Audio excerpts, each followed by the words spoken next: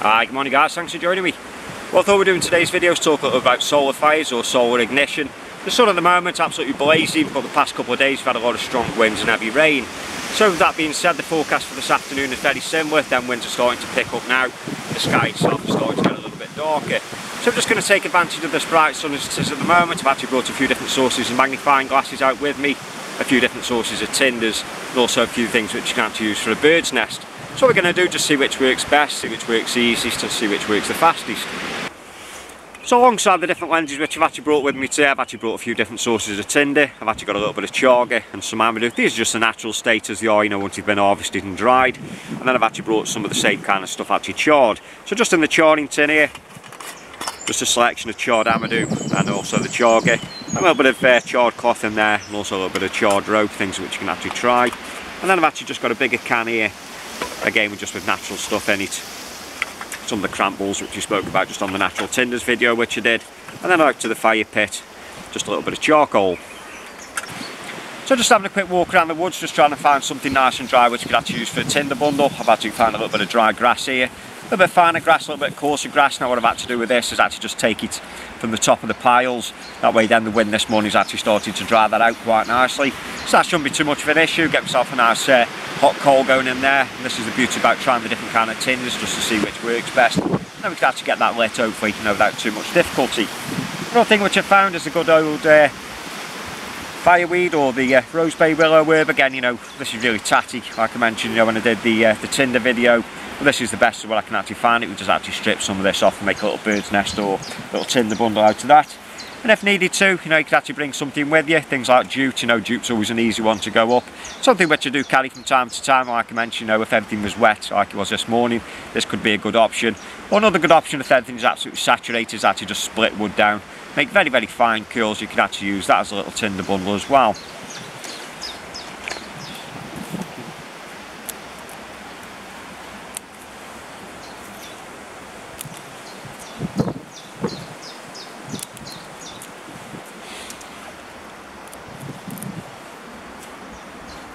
Just whilst I'm waiting for the sun just to show itself, I just made myself just a little tinder bundle there. Nothing fancy, just a little bit of that uh, that softer whiter grass just in the centre there with a little bit of coarser grass just at the back.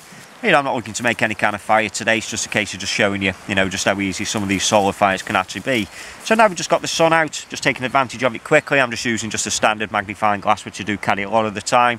And I'm also just going to use just a little bit of Amadou. And it's just a case of just concentrating that beam and as you can see there that started to smoke straight away. I'm just going to rotate it around slightly just to uh, build up the hot spot. And there it is that's smoking great now that is. So I'll just take that away there. And you just actually see just on its own now that's actually caught.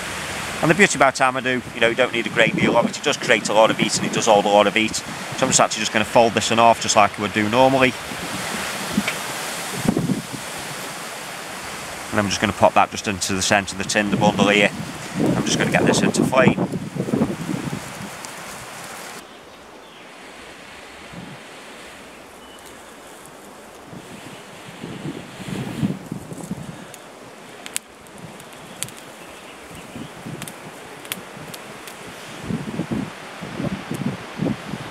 So with the Amadou, you know, like I mentioned, that's absolutely phenomenal stuff anyway, you know, regardless of how you're going to use it, whether you're going to use it with a ferro rod, flint and steel, or a solar fire, you know, it does create a lot of heat, and, you know, it does get quite a few tinders going. And the magnifying glass itself is quite powerful, so what I thought to do now, I just use just a little Victorinox, like I say, around about three times power. We're going to use this, you know, with a cramp ball, or sometimes referred to as a King Alfred cake, I'm just going to cut that open so we can just get into the centre here and I'm expecting, you know, with the bright sunlight when it does actually come out, you know, to actually ignite this quite easily.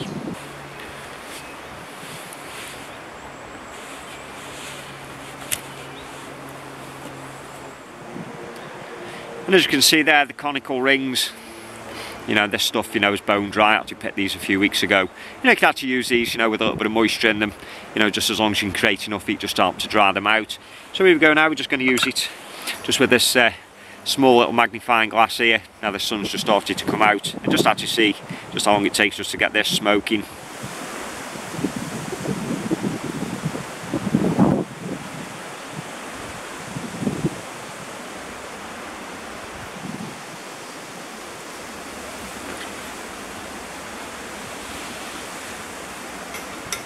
And as you can see there, that's smoking and that's uh, glowing red hot now. The beauty about these kind of things is, again, you know, very difficult to put out. And if you wanted to, you could just put the other half to it and uh, you know that would get most tinders going. And the beauty about these, like I mentioned in the past, you know they do smoke quite a bit once ignited, so you could actually use these, you know, just keep insects away and the likes if you're starting bothering you, you know, just around camp, things like mosquitoes and uh, little midges and that kind of thing.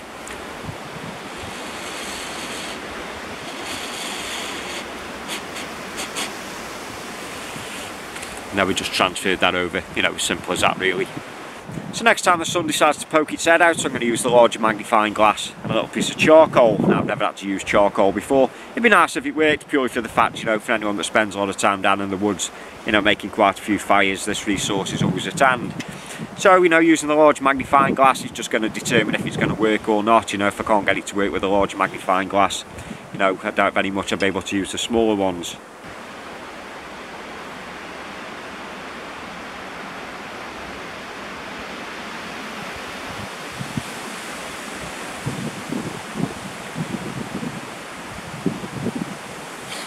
If the camera will pick that up there, you can actually just see, you know, just how it's changed colour. I probably spent around about five or ten minutes just to trying to get this go. I'm not sure, probably it's just a little bit, uh, you know, too dense as a material, I'm not quite sure, but, you know, every time you blow it, you know, a little bit of ash comes off. So, you know, unfortunately, you know, I can't uh, actually get this going. Maybe if I lived in a country, you know, with a lot stronger sunlight, you know, admittedly, you know, I am using quite a powerful glass here. So, you know, uh, with the charcoal itself, you know, I'll probably just put that down as a fail you know if anyone has actually had to uh, actually got it going you know just please let us know it's fair to say out of all that stuff that we just tried just apart from that charcoal it's all gone up quite easy so if there was any kind of doubt in mind, perhaps the diffusion of the sun, perhaps not the strongest magnifying glass in the world, one thing I'd perhaps go over to is using charred materials. Now like I mentioned, nothing spectacular in here, we've actually got some of the Amadou which we've tried charred. We could try a little bit of this charred chaga, I'm also going to just try just a little bit of uh, chaga just in its natural state. But one thing which I do carry quite a bit of, you know, something which we know will go quite easily, is charred cloth.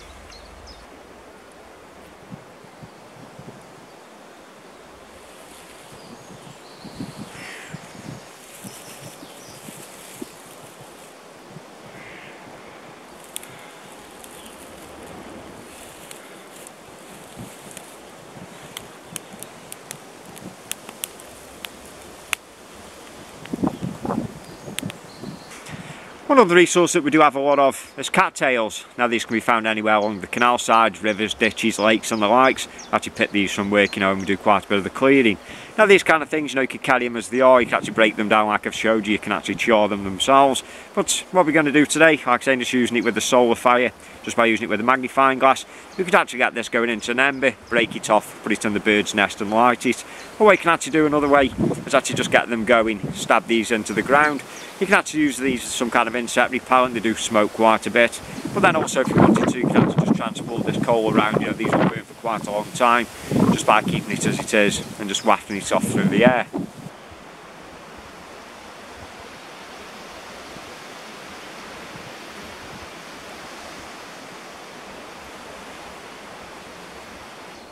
As you can see now after a few seconds of it being in the sunlight this is going now. Nice and black there with that white centre and if I blow on it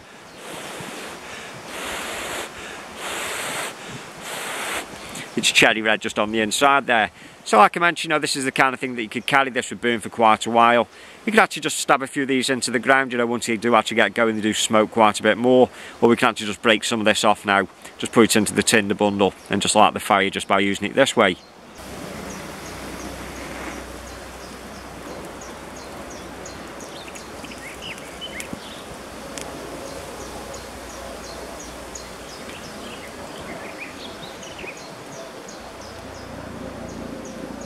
And the last thing we're going to use to form a coal is a piece of chaga. Now again this is a piece of fungus. Absolutely awesome you know in the way that it does uh, create and all a lot of heat in there. So for marginal tinders and the likes, you know this is going to be perfect. So I'm going to use for the tinder bundle.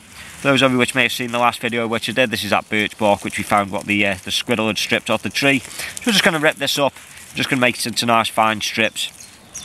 And this is what we're going to use, you know, for the tinder bundle itself.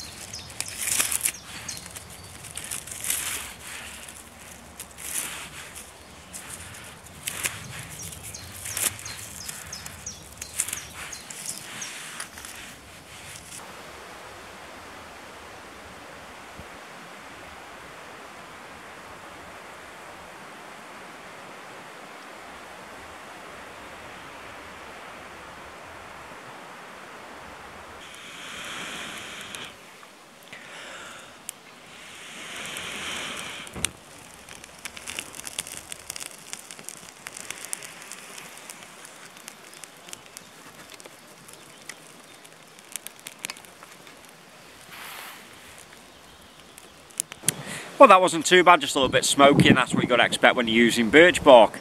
So is it worth carrying a magnifying glass? You know, I've showed you a few different ones here, different sizes, different costs. You know, like I mentioned, I perhaps wouldn't carry anything this big down to the fact it's a little bit too fragile. You know, but for carrying a small one, you know, perhaps the thing which comes on your compass or perhaps just a Fresnel lens, you know, I definitely say it is. Just as long as you've got a little bit of reliable sunlight, you know, certainly where I am in Britain here, you know, we can't rely on that all the time. You know, so then what you've got to look for is a decent tinder source and then something which you can make a nice little bird's nest out of. Again, you know, using magnifying glasses means that that resource is there forever. You're never going to have to replace this unless you break it. So it's a free way of starting fires just as long as the sun's out. Well that's it for this one guys and like always that just leaves me to say thanks a lot for stopping by and watching the video like always. Until next time, you take care and I'll see you again.